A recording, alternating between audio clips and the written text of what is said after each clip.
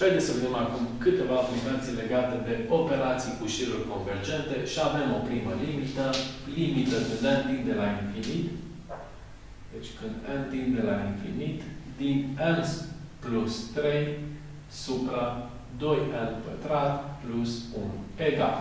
În cazul acestei limite, vom forța sus la numărător pe n factor comun, iar jos la numitor pe n pătrat ca și factor comun.